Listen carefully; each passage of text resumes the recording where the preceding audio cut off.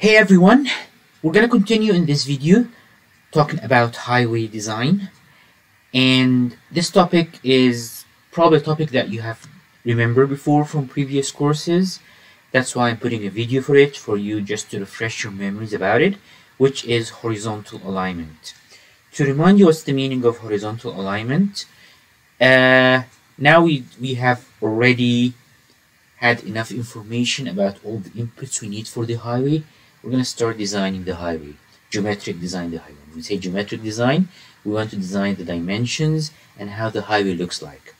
We have studied one equation that we're going to be using as the basis of this. If you remember this equation R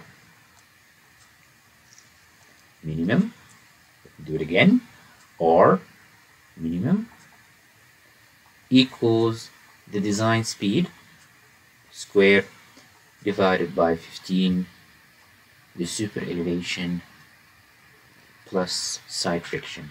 We did this equation a lot and this will be the basis of our horizontal alignment. So so what we want to do and what are the equations we're going to be talking about or refreshing your minds about? We're going to be refreshing your, your minds about this this kind of equation. When we have now our our alignment let me bring my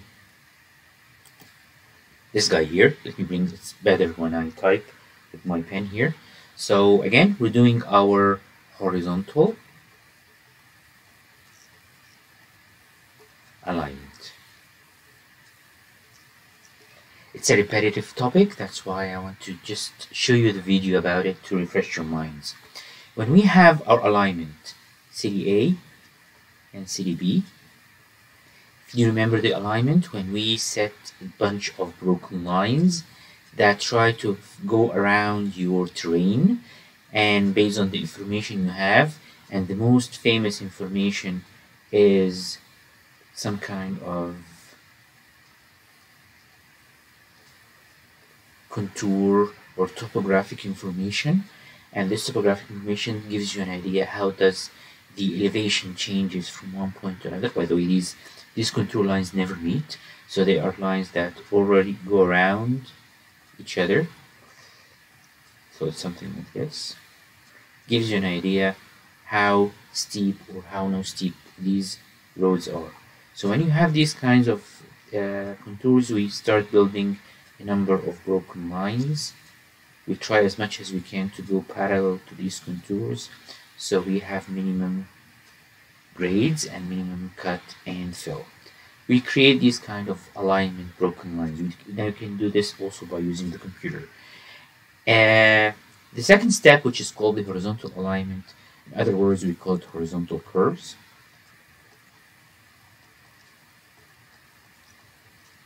Is to fit like we had in our lots of our projects and examples in class.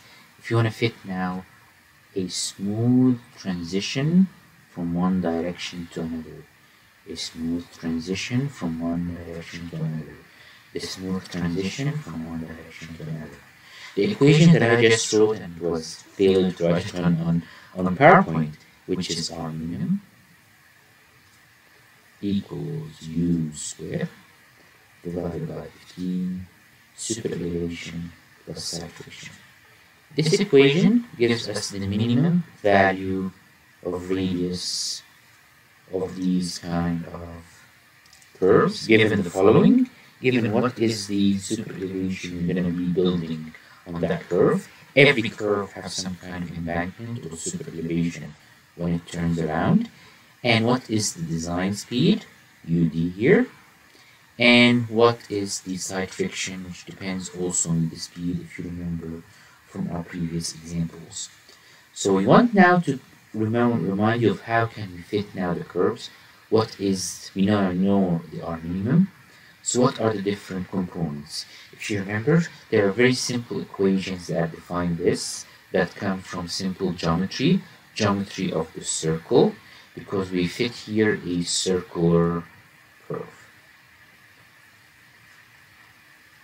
Okay, so let's get back here guys to our presentation. I'll try not to write on my presentation.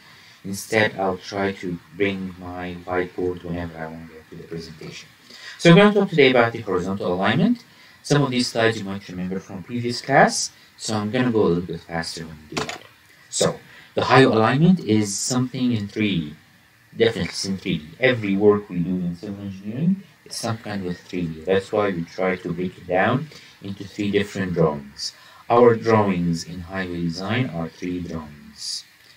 First drawing is called the plan, where you created the alignment. Again, I'm drawing on my PDF, on my uh, PowerPoint, I'm sorry. So this is where you create your alignment, and also you want to fit the curve. So that's the plan. The second one, which we'll be doing in the next topic, which is the profile or the elevation. And the third one, which you can see here, showing you, if you cut here through the road, it shows you what we call here the side view of the road. It shows you the lanes, the slopes, the medians, the shoulders from a side view, perpendicular to the center line.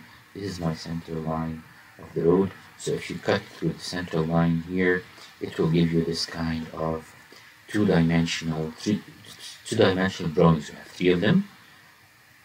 One, two, three, plan, elevation, and side view. So in our horizontal alignment, since we're now looking from above, and this is our radius, we focus a little bit more on the plan. Later on, when you do the vertical alignment, we're going to focus on this kind of elevation view. So it's a three-dimensional problem, and that's the problem with most of our civil engineering work, and that's why we try to break it down in different views and different cross sections and different cuts throughout our drawing. So the design of construction will be difficult in 3D. So highway design again is split into three two-dimensional problems. Horizontal alignment here, vertical alignment here, cross section here. And we're going to study all of these in detail, including the drawings. So let's start guys with the first one here, the plan, which we call here the horizontal alignment or horizontal curves. So when you look at the plan, we have here what we call here the center line. You can see it here, the line in the middle. This is where we start with. And later on, once we finish the center line, we start adding now the, we call it the detailing of our road. Putting the lanes, putting the shoulders, and putting different parallel lines to create our road. But our main line here is the center line. When we want now to figure out where does the line go horizontally, meaning that it goes left and right, sees that this line goes this way, and then that way. So we call this horizontal alignment, and we can see it from a bird eye view, a plan view. When we look at the road from a front, this is where we create here the vertical alignment, or we call it the profile. Profile is one of the most famous and important drawings in highway design. So profile has usually two lines, the actual earth, we get it from surveying, and then the designer comes here and looks in the front, he starts now figuring out how will my road go up and down and up and down and then he fits curve here with vertical curve which we also be designing in detail. Very good picture here. This is the 3D. You can see here 3D. This road goes in two different directions, left and right, with this kind of curve. This is the curve we're going to design today. And another kind of curve going up and down. You can see this road is going up and then going down again. Here it's going down and then up. So we have this a lot of this these kind of roads in in in mountainous states like the one we have here. So this is another picture that shows you road going down and then up. This is a vertical alignment. When we draw the profile, we imagine that we are cutting the road and looking from this side here. We're looking parallel to our center line. This is our center line. We're looking parallel to it. Another example here when we show this is like a bird eye view like you can see shows you here that I have a line a line. These lines meet somewhere and the designer creates a curve another curve here another curve here. So all roads has this kind of horizontal alignment.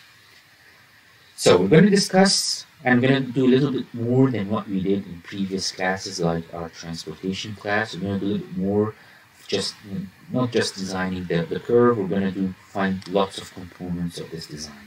So we're going to calculate the components of the horizontal alignment. And it's mainly the properties of the simple circular curve. Again, we have two lines, and we fit an arc. This arc is taken from circle. So that's why we look at this, what we call here, circular curve. So horizontal alignment, it's designed based on appropriate relationship between speed and curvature and their interaction with side friction and super elevation and this defines the equation R minimum the minimum radius equal u design squared divided by 15 e plus x. Along your circular path there is always a problem that when you are going on a circular path the inertia or the centrifugal force pushes you away on this side of the. And that's why we create this kind of E, super elevation or embankment of the road, and it shows very well when you do the uh, NASCAR uh, tracks. Uh, this inertia causes the vehicle to attempt to continue in a straight line, so it pushes it away instead of taking it into the curve. And here comes the, the super elevation. So super elevation, both and side friction, provides a force to offset this inertia this force is directed towards the center of the curvature. So these two forces, either the friction and the super elevation tries to push it inside, and we have created, if you remember guys, we have done a proof of this equation here. So uh, the objective is that we want to figure, we want to create a curve that is safe and comfortable. Some curves you might drive on some turn, turnpike or different roads, it's not very comfortable. The curve is very tight. You have to slow down. Sometimes you have to slow down really hard. That's not comfortable. And you can all remember a curve that's really bad. We have this a lot in every state in the US.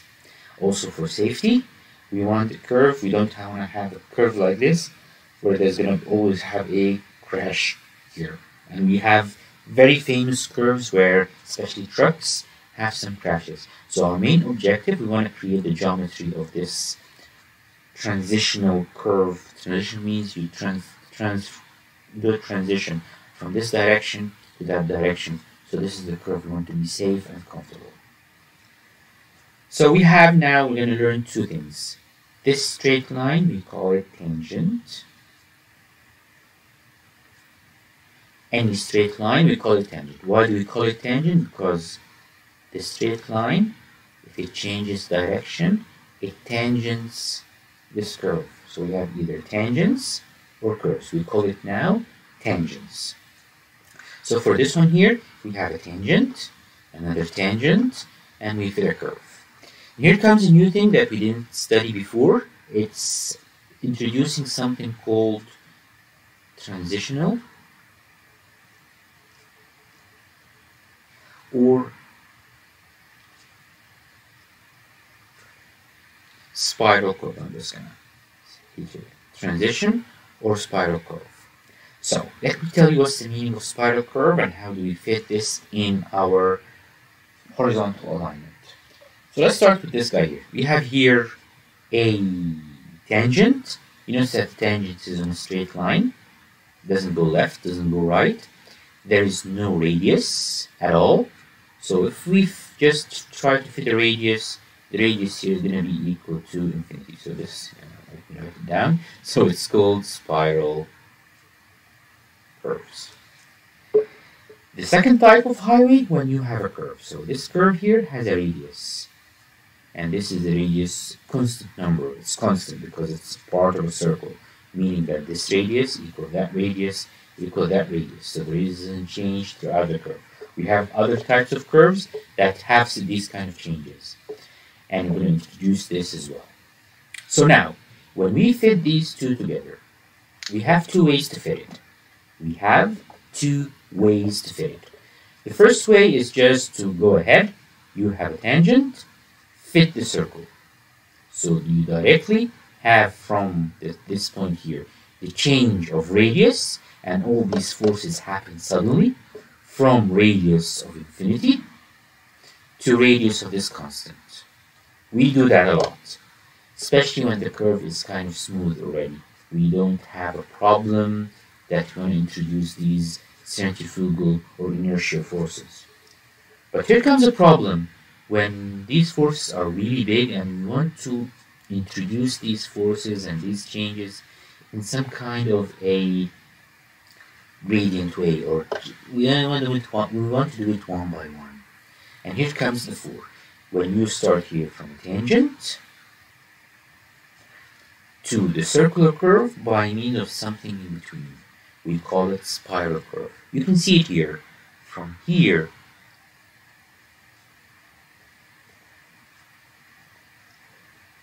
from here to here, you have a curve that's some, something like a spiral. It has a radius that is changeable. What do you mean by that? The radius changes from infinity, when you have a straight line, to whatever the constant value of your curve is. So let me get back here instead of my really bad writing on on this, let me create a new whiteboard screen. So we have now a tangent. To just draw the straight line, the center line, I'm sorry. Call it like this, center line. That's my tangent, straight line. And you have a curve. And again, this curve has a constant radius throughout piece of the circle. If I want to fit these two together, I can go ahead and go like this and then fit my curve directly. This is R and this is R equals infinity because it's a straight line. So this is directly from tangent to curve. From R equals infinity directly to R equals constant. But sometimes because, again, there are no forces pushing you from the side on this one, but once you get here, you're going to find a force that pushes you away. And you need the super elevation to be built to resist these forces, and we have forces inside. We can do this directly, or we can create something like this. A straight line, and then some kind of a curve that transitions you, that gets you ready to go ahead into the curve. This is what we call here the spiral curve. Why do we call it spiral? I'm going to show you in a second. We call it spiral because we take it from this kind of curve. Notice here, the radius changes from infinity here to zero here. There is no radius in the middle here. We take this part here and we take it, we cut it, we fit it here. So you can have some kind of a transition from the radius of infinity to the radius constant over there. We're going to design this spiral curve, and this is the new thing, one of the new things we have in horizontal design in your, in your uh, design class. Now let's move back to our uh, PowerPoint. So we're going to design the following. We're going to define here tangents, curves, and transitions or spiral curves. The beauty about transition, not only just it, it gradually push these forces to you while you go into the curve. It's another really amazing distance where you can change your cross section from this shape here. This is cross, these are all cross sections. Cross section from the tangent to cross section up here on the curve. What do you mean by that? When you're in the tangent, this is your highway. This will be a cross section. It's like a book. It's like a crown. You even call it crown cross section. What do you mean by crown? You're gonna find here side slope from your center line going down to the sides. And this is mainly for drainage. And this is what we call here crown slope. When you go on a curve, you're going to notice that this, this is, you can see a normal crown. It goes from here to there. And in class, we're going to learn how do they we create drawings for the contractor to go from here to there. To what's there? There is when you run the curve, you're gonna find that your curve, your your highway, turns into this super elevated E with a side slope E. And this side slope here is the embankment. It goes all into one side to this towards the center the center of your circular curve. This is called the embankment you find on curves. So we're gonna move from this side to that side. So we introduced now something we did before. We're gonna do it more in our AASHTO manual, super elevation. And we're gonna define something called E maximum and E design. What's the difference? I'm going to tell you in a second. So super elevation first. Super elevation, we know that curves require super elevation, banking of curve to reduce sliding to allow the use of smaller radii curves. The beauty about super elevation, you can see that in the NASCAR races, is that when you have a good super elevation, especially for speeding cars, you can have a small radius. Why? Because again, radius equal u squared 15 e plus f. So if e is big, I can have small r. If r is big, I can have small e. So they are in an inverse relationship. So when you have a smaller radius, meaning that you're gonna you're gonna buy less land, because when you have bigger radius, bigger radius means that you need to cut more land. A uh, good example for super elevation, this shape where the motorcycle or the bikers do when they turn. They create their own super elevation. And when you drive, you when you're in a curve, you, you're going to notice yourself doing this kind of shape. And this is a super elevation. You notice here the embankment goes towards your uh, center of your curve. And you find here for faster roads, this is how we build it. The contractor builds that. So, now let's talk a little bit once we just introduce you guys of what's the meaning of super elevation. Yeah, I want to get back here and, and ask the question. What is the difference between Emax and E-Design? When you go ahead and you go and figure out your classification and speed, things that we did before, based on AASHTO, we can go ahead in the tables and define what will be the maximum super elevation for my road or for this area that I can go. I cannot go more than that. And then I'm going to go into the specific charts that will go ahead and define for every specific curve that we have. We know the E maximum. What will be the E design that we will calculate? We're going to do this in class, guys. Okay. Uh, so now let's. Uh, Let's now move to things that we did before. So I, to remind you guys, this is a circular curve. Two things we want to know, and two you can say constants or two things that you're gonna start with your curve. This angle here, which you call here deflection angle, and also R. Based on, let me get back to my uh,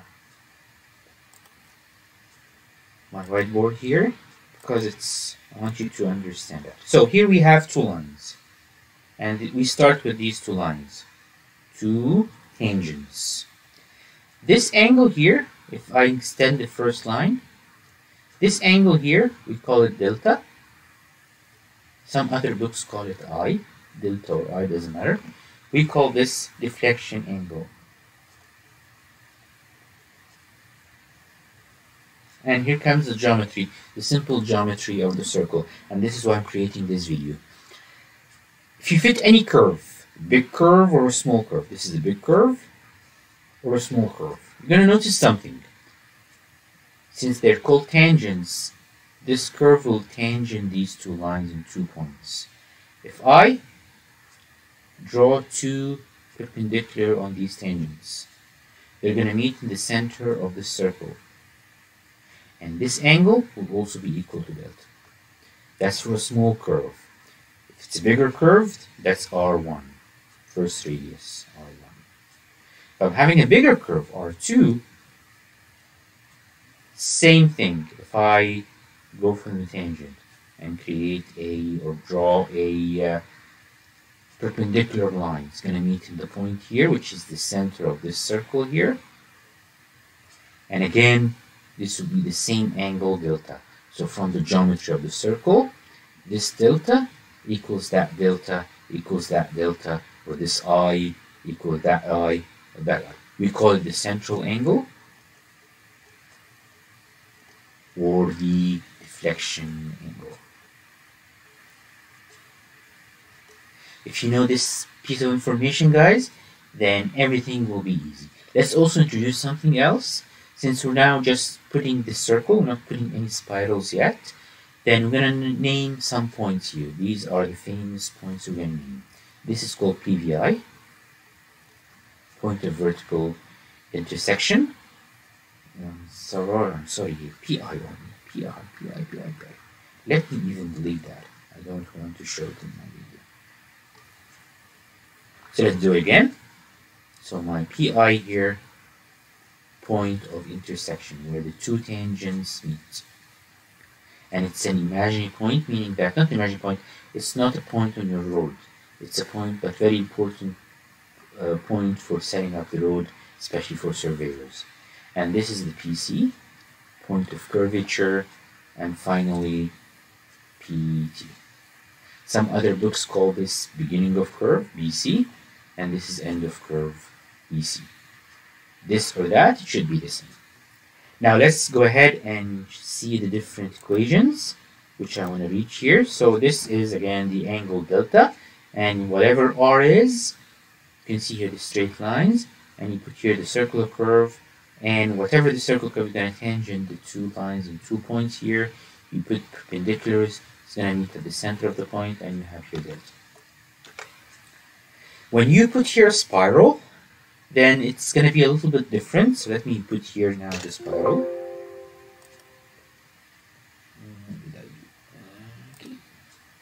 So when you put here the spiral, let me just bring my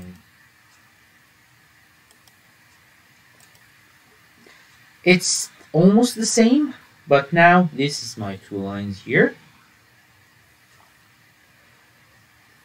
We have our spiral at the beginning and at the end of the curve, and then you put your circular curve. So we have now four points. We call this, we call this T, S, tangent, spiral. We always have one direction of the center line. We always build our curve in one kind of direction. You're going to find me always do it from left to right, but some people can do it from right to left. But we always do that like something we're used to. This point here is spiral, curve. This point here is curve, spiral. This point here is called spiral tangent. And the point in the middle here again is PI, doesn't change. And the delta here is the same delta. And we're going to define now the new central angle once we have a spiral. So things will change a little bit, but let's again go ahead and work with our main equations for the circle, and this is where I'm going to end my video today. So we have different kinds of curves. We have what we call here a simple curve, one curve. We have something called compound curves. When we have two different curves with two different radii, and they meet in the same point. So are multiple curves connected directly together. We usually start from the bigger curve to just introduce the curvature to the driver, and then the shorter or the worse curve here, or the smaller radius curve. If we have here a tangent between them, we call it broken back curve. Finally, we're going to do, or we have one with curve changes directions, we call it reverse curve. In our class, we're going to design each of these curves one by one. But let's go ahead and put the equations for the main curve. The first equation here is when you calculate the minimum radius. We all know that. This is from AASHTO. We did this and we even proved, we were able to prove that. And if we have here two equations for metric and for customary, the only difference is this number here. Instead of 15, we have 127. So now let's talk about the maximum super elevation. It's controlled by four factors. Number one, what how many how much ice and snow you have. Number two, the terrain. Number three, what is the percentage of trucks of slow moving vehicles that might influence the high super elevation rates. And Usually, this is the highest number we use, 10 to 12% super elevation. Again, we want to figure out what is the super elevation, the embankment, the maximum super elevation for our specific highway. So these are the four factors that that we go ahead and, and, and decide that. Usually, we put 8% logical maximum to maximize slipping by stop vehicles, to minimize slipping by stop. So again, the problem with bigger super elevation, if you're parked here and it's snowed, you're gonna slip. So that's why we don't make it so big, and that's why we first thing we want to figure out what is our maximum super elevation. I'm going to show you on Monday, or I'm going to show you in the next class, what are the diff how can we get this using AASHTO, and how can we get the minimum radius, and then using these charts, how can we find the design super elevation from the maximum super elevation. So I'm going to just skip it in the video, and we're going to do it directly in our uh, in our class. And we're going to also do these drawings here of how to draw the super elevation and what are the different kinds of drawing the super elevation.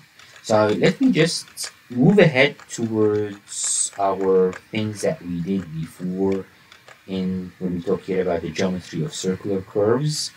So we defined by one of the two things here. Number one, when we have a curve, we're going to put a curve. We define this curve or how curved it is or how curvature it has by either one two things. Number one, radius. And radius is a number in feet or in meters. Tell me how small or big your curve, how tight or smooth your curve is. The bigger R, the smoother the curve is. The second thing which is very which is related to R, something called the degree of curvature. Degree of curvature, we have two types. We're going to do this one here, the arc definition, because we use this in highway design. The second one, we use it in railway design. It's very simple. If you measure on your highway 100 feet, one station of distance, 100 feet, piece of pizza, then you here take the slice where you have R and R, and the relationship now R comes here the angle here, the angle of this slice of pizza, the angle from here to here, of that encloses this 100 feet, we call this degree of curvature. So it's in, in degrees. It's the angle, the central angle that encloses 100 feet. For the chord definition, we use it in railway. It's not a curve, it's not an arc. We use it for a chord. So this is the arc definition. Central angle subtended by 100 feet of arc along the curve. It tells you how short of that because if you have a big angle here that includes 100 feet then you have a very very tight curve. You have a very very small radius. If you have a smooth curve then this angle becomes very very very small. So that's the difference between how sharp or how flat your curve is and we define this by d there's a relationship between r and d because again it comes here because you know that this distance here equals the angle in radians times r. And here comes the equation here. So again, it's 100 feet. That encloses an angle of d. This is the chord one. So instead of measuring 100 feet of curve, you can measure 100 feet of chord. Gives you also the angle d. So that's the relationship I was telling you about. It comes from, you, you know now that this 100 feet is equal to r times d. r times d but R, sorry, D has to be in radians. So this is how we change from radians. So it's 100 feet. That encloses 2 pi R. And here comes equation 5. I put it like this way. R equals 5730 over D. Again, it is the, this relationship tells you that D over 360 equals 100 over 2 pi R. So this is just a ratio telling you for the whole circle. If this is 360, let me do it again. Let me do it again. Let me do it again. Here. So it's like this. I have 100 feet and I want to know the value of d. Well, I can do it this way. Instead of a whole circle, let's do half a circle. So half a circle, this angle is 180, right? So I know here that 180 is equivalent to this distance here. Use this distance here, which is what pi r, right? So it's pi r because this is pi equals to d, which gives you 100 feet. And this is how we calculate this 5 to 80. So d equals the relationship of radius, sorry, 5 to 30 divided by or, or, or the other way around. Okay guys, so now let's go ahead and uh, get back to our presentation here. So this is the first equation. To define your radius, how flat or smooth your curve is by this equation here. 5, 7, 30, not 5, 2, 30, 5, 7, 30 divided by d. And again, it comes to this very simple ratio.